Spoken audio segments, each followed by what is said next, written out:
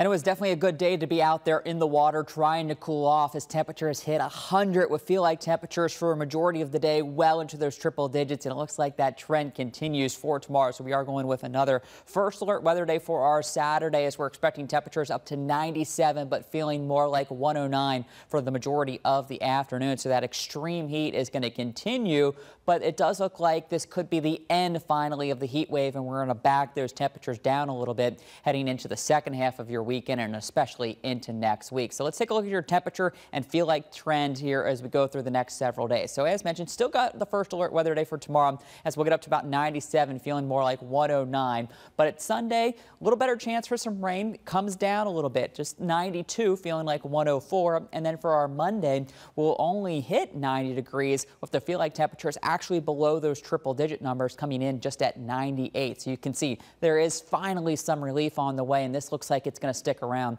So we might get a break from those first alert extreme hot and humid days. But today was definitely one of those. Still, even as we push late into the afternoon, Look at this. These are your current feel like temperatures across much of the Midlands, and you can see everyone is in the triple digits. Feels like 106 in Columbia, 107 in Lexington. It feels like 106 in Orangeburg, 102 for you in Winnsboro. For the most part, we have stayed dry. There's maybe been one or two brief little stray showers out there today, but we are watching a line of some showers and storms in the upstate that could try to make their way into the Midlands, although I think it's going to fall apart as it works its way here. But you can see here's that line that just moved through Clemson, beginning to make its way towards towards Laurens and Greenwood. It's got a fair share of thunder and lightning with it, along with some pretty decent downpours, but it is beginning to show some signs of weakening. We also got a little cell just north of Augusta that's trying to push into South Carolina, but that too is starting to weaken a little bit. So maybe for areas as you get towards Saluda and Newberry, you could get what's left of this storm push in, and any rain we can get right now would be much needed. So hopefully we can get at least some rain to move in,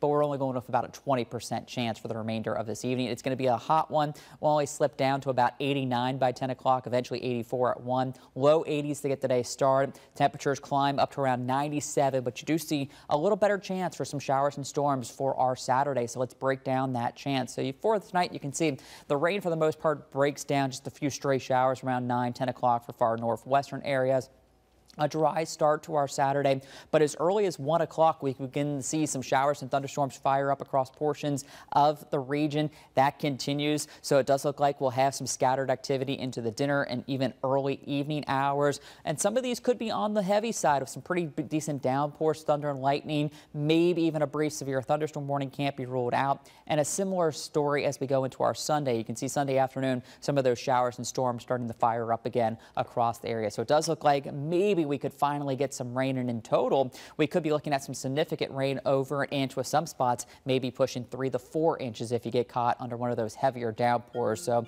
it does look like some relief from the heat's on the way in the form of rain. But tomorrow still a first alert weather day 97. But then as those rain chances go up, you can see we drop down more or less into the low the mid 90s for Sunday and into much of next week with those daily rain chances sticking around for the majority of next week.